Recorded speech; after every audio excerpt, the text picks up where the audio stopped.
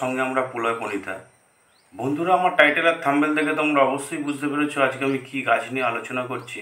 তাই lucky bamboo গাছ নিয়ে অলরেডি আমার ভিডিও আমার চ্যানেলে দুটো ভিডিও আপলোড করা আছে। তো বন্ধুরা লাকি বাম্বু গাছে মোস্ট কমন যে প্রবলেম হয়, সেগুলো হচ্ছে পাতা হলুদ হয়ে যাওয়া এবং কাণ্ড হলুদ হয়ে যাওয়া।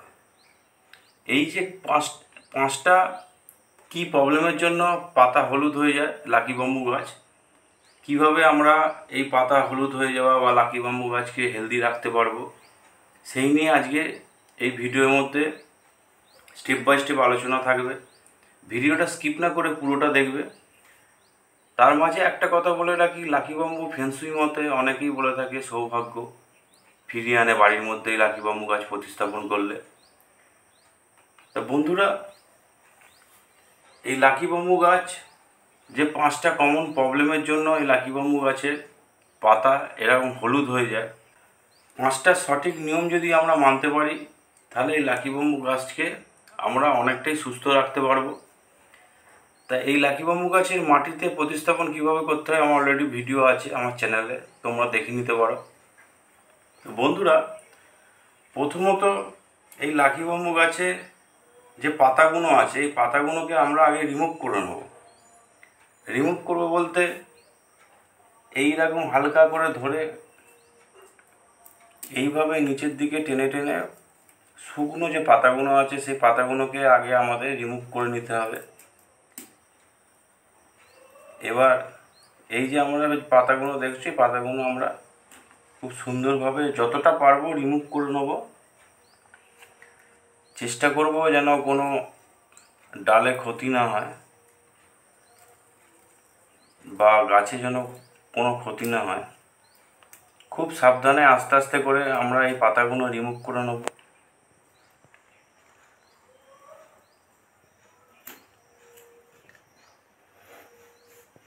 আমরা এই- পাতাগুলো হাতে করেও রিমুভ করতে পারি বা কাঁচি দিয়েও কেটে দিতে পারি। তা কাঁচি দিয়ে কাটতে গেলে বন্ধুরা আমরা যেটা আগে করব এরকম একটা পরিষ্কার কাঁচি নেব। এই কাঁচিটা আমরা একটু স্যানিটাইজ দিয়ে ফাঙ্গাস মুক্ত করে নেব, জীবাণু মুক্ত করে নেব কাঁচিটা। তা এটা আগে আমরা ভালোভাবে প্রথমেই আমরা কি করব, যদি পাতা এরকম ইয়েলো হয়ে যায়, পাতাগুলোকে আমরা এরকম কাঁচি দিয়ে বা যেমন হাত দিয়ে দেখালাম, টেনে রিমুভ করে নেব। তারপর স্টেপ বাই স্টেপ আমি পরিচর্যা বলব। কিছু পরিচর্যা মানতে পারলে তোমাদের লাকি বাম্বু গাছ অনেকটাই হেলদি হয়ে যাবে। দেখো, এইখানে আমার একটা কাণ্ড হলুদ হয়ে গেছে। এইটা আমরা রাখব না। এটা আমরা রিমুভ করে দেবো, আস্তে আস্তে তুলে। এটা আমরা রিমুভ করে দেবো কারণ এটার ইমপ্রুভ হবে না। সেই জন্য আমরা এটাকে রিমুভ করে দিলাম। করে এবার পাতাগুলো সব আস্তে আস্তে কেটে কেটে যত পাতা হলুদ আছে, আগে আমরা রিমুভ করব। তা বন্ধুরা, তোমরা দেখতেই পাচ্ছ, যত হলুদ ইয়েলো লিপস ছিল, আমি সব কটাই রিমুভ করে দিয়েছি। তা বন্ধুরা, এবার যে কমন প্রবলেমগুলো এই লাকি কেন লিপ হলুদ হয়ে যায় বা পাতা হলুদ হয়ে যায়, সেই কমন প্রবলেমগুলো এক এক করে বলব। তা আমার চ্যানেলে বন্ধুরা, তোমরা যদি নতুন হয়ে থাকো চ্যানেলটা অবশ্যই সাবস্ক্রাইব করে অল নোটিফিকেশান অন করে দেবে, যাতে আমার চ্যানেলের ভিডিও তোমাদের কাছে সর্বপ্রথম পৌঁছে যায় এবং তোমরা অনেক হেল্প পাও। তা বন্ধুরা, প্রথম প্রবলেম হচ্ছে এই লাকি বাম্বু গাছ রেন ফরেস্টের গাছ, এই লাকি বাম্বু গাছ আমরা কখনোই ডাইরেক্ট সানলাইটে রাখব না। ইনডাইরেক্ট সানলাইটে রাখতে হবে। হিট ওয়েভ যেখানে থাকে না সেরকম জায়গায় আমাদের রাখতে হবে। আলো আসে, সূর্যের আলো আসে, কিন্তু সূর্য যাতে তাপ ডাইরেক্ট এই গাছে না লাগে। ফার্স্ট কমন প্রবলেম হচ্ছে এটা। সেকেন্ড কমন প্রবলেম হচ্ছে যেটা আমাদের মানতে হবে। এই গাছকে কখনোই আমরা ট্যাপ ওয়াটার মানে কলের জল দেব না এবং যখন স্প্রেও করব, আমরা সে কলের জলে স্প্রে করব না। কলের জলে কেন স্প্রে করব না? কলের জলে প্রচুর আর্সেনিক থাকে এবং আয়রন থাকে। তা সেই জন্য এই কলের গা, কলের জলে আমরা এই গাছে কখনোই দেবো না। আমরা সবসময় মিনারেল ওয়াটার বা বিসলারি যে যে কোনো কোম্পানির যে স্বচ্ছ জল হয় পিউরিফাইড করা জল, আমরা সবসময় এই গাছে দেবো। ঠান্ডা জল এই গাছ খুব ভালোবাসে। দ্বিতীয় নম্বর গেল। তৃতীয় নম্বর গেল, আমরা এই গাছকে কখনো এসি ঘরে রাখব না। এমন জায়গায় রাখব না, যাতে এসি ঠান্ডাও থাকে, আবার হুট করে গরম হয়ে যায়, সেরম জায়গায় রাখব না। চতুর্থ প্রবলেম হলো এই গাছে মাঝে মধ্যে ফাঙ্গাস লাগে।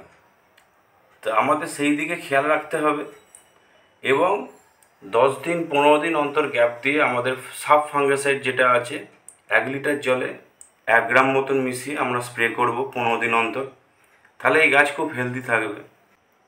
এই গাছে আমাদের সবসময় ময়েস্ট ময়েশ্চার মেনটেন করতে হবে।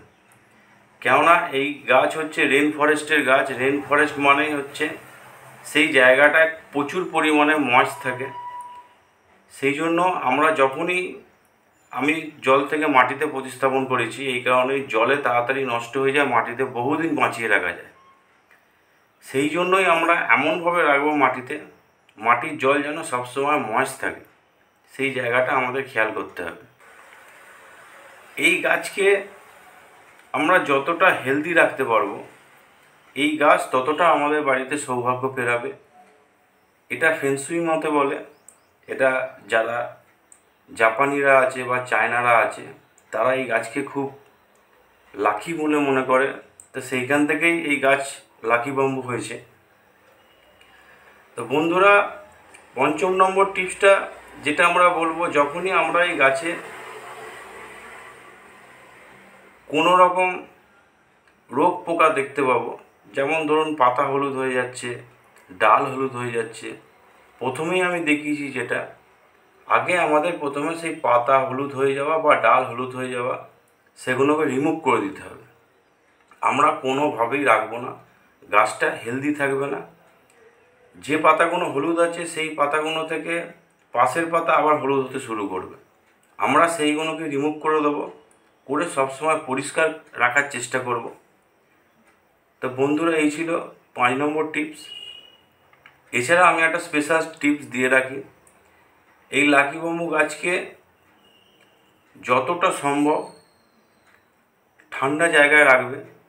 ঠান্ডা জায়গা বলতে গরমকালে এই যে গরমের তাপমাত্রা বাড়ছে, এমন জায়গায় রাখব না যে ঘরে প্রচুর হিট থাকে। এই গাছ হিট একদম সহ্য করতে পারে না। আমি বারবার বলছি যে এটা রেন ফরেস্টের গাছ। রেন জায়গা হচ্ছে ময়েশ্চার গাছ। আমাদের যদি দোতলা বাড়ি থাকে, আমরা একতলা ঘরে রাখব। আমরা কখনোই দোতলা ঘরে রাখব না।